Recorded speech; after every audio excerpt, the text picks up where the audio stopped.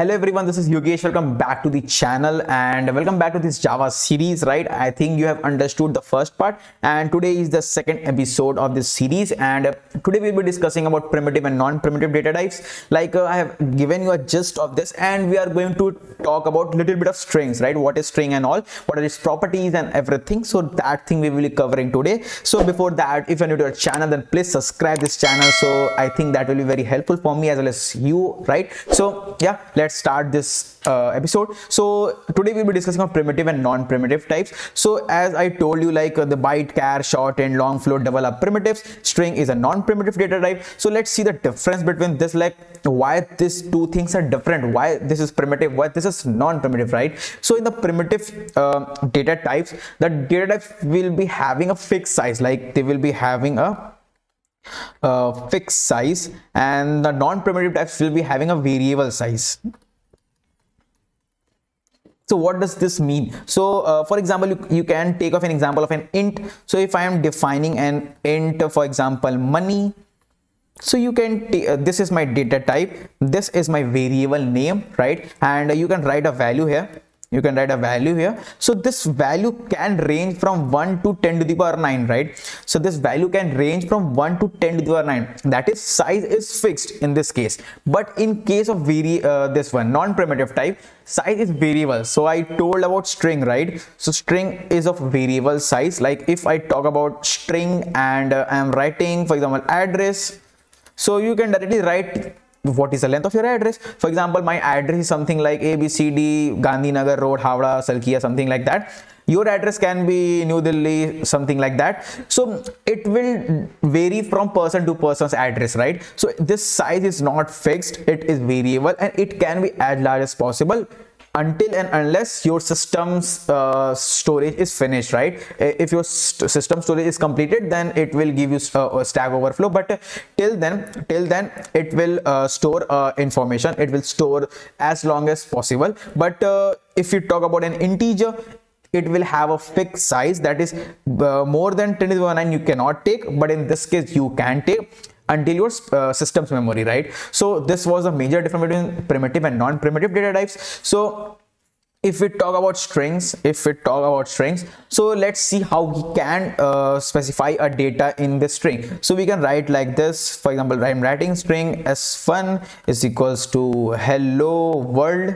okay i'm writing like this. Similarly if i talk about one more i'm writing again similar thing i'm writing right? But uh, what is different you can see is that i'm assigning it s1 hello world.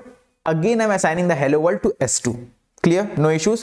One more way of writing this is that assigning a data is by using string s3 is equals to new string. By using a new keyword we'll be explaining what is this.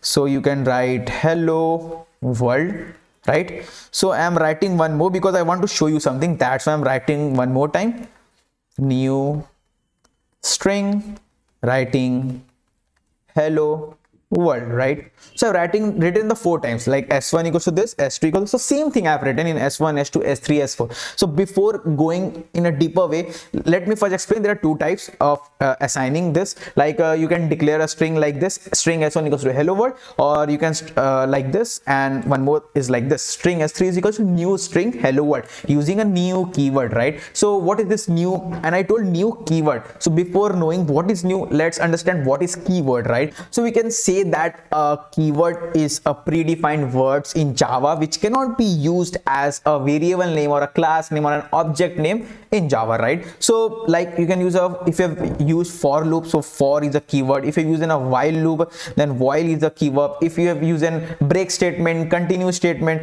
so this everything are keyword. Similarly, this new is also a keyword, a keyword, right? So to, uh, to define a new string, we use a new keyword, right? So the difference between this is that if you define a string using a new keyword, this will be created in a heap memory, right? Heap memory this both of things and this will be created in scl string constant pool scp sorry scp string constant pool.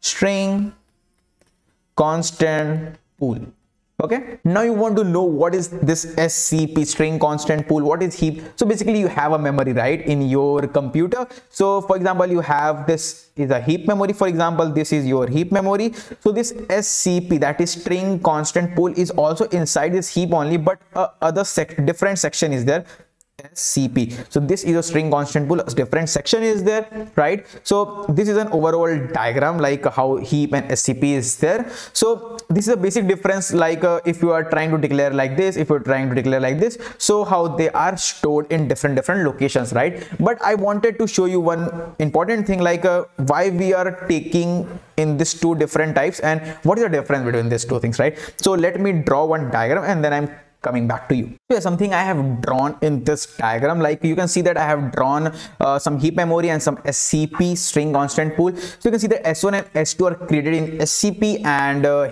S3 and S4 are created in heap so you can see that if I've tried to uh, create S3 and S4, so they're occupying different spaces in the memory. Like S3 is uh, created with the, a value hello world differently and S4 is created differently, right?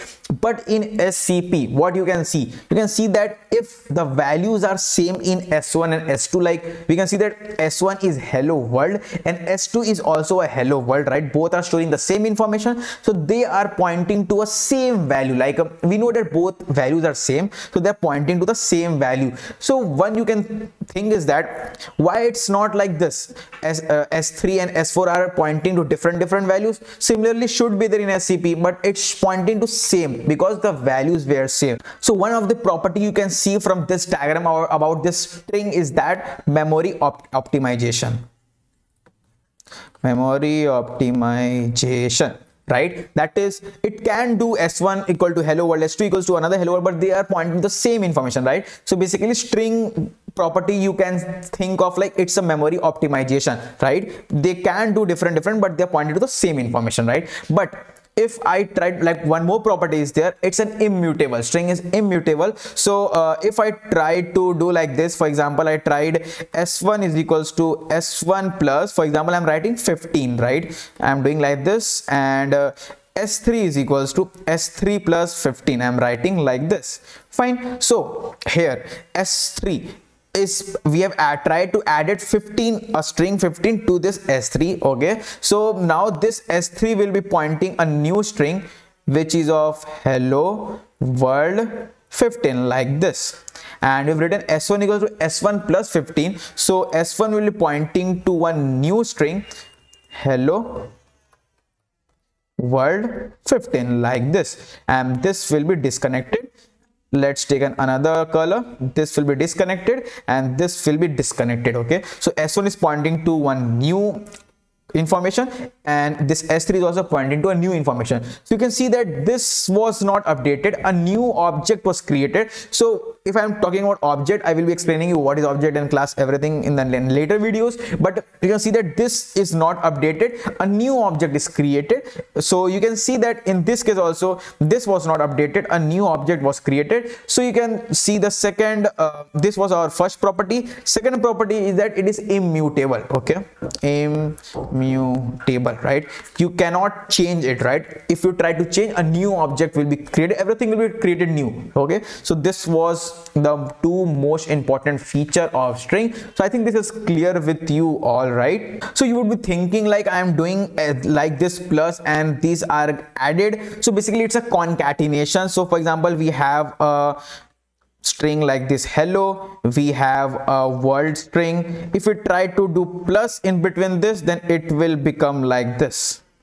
So if you want to see this so let's take uh, so for example i have taken uh, first name is equals to i'm writing yogesh. Let's take a new string last name is equals to yogendra right? And if we try to take one more string name right? And we are right doing first name plus last name right? So basically i'm concatenating both of them. And if i try to print the name and let's run this code. So you can see that our name will be printed like this yogesh and yogendra. So if i try to give a space here and if i try to print then it will be printed in a more better way. So yeah you can see that yogesh space yogendra is printed. So basically plus is used for concatenating. So i will be explaining this in the functions part like uh, if uh, what are the string functions are there. So basically i uh, explained you these things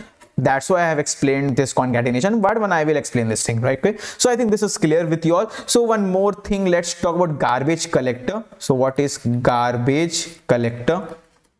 This is a very small thing like i am not uh, i will be explaining a basic part not going in a too deep way. So so basically what garbage collector do, it is an automatic memory management which clean up the information which is not required. Like uh, here you can see that um, earlier s3 was pointing this one right? Earlier s3 was pointing this one but currently is pointing to this one right? So this is of not this is not required right? So automatically jvm will clean this okay so this is a garbage collector. So that the definition is known as garbage collector. This information will be automatically cleaned from the memory in this case as well in this case as well. But uh, uh, here you can see that this hello world was pointed by this s2 that is s2 is storing this. So nothing will be cleaned here. But in this case which is there in the heap this information will be cleaned from the memory because it is of no use. S3 is now pointing to this other information that is hello world 15 right? So that is known as garbage collector right? Automatic memory management yeah that's it. So and if we talk about scp like uh, if some informations are here and uh, like uh, if we talk about uh, string is the which is pointing to hello right? String right? Now i have updated like earlier s1 was hello. If we updated s1 is equals to world we can do like this right? So now this s1 will point to world right? And this will be this information will be removed. So here also but in this case whenever jvm shut down right in that case this information will be removed.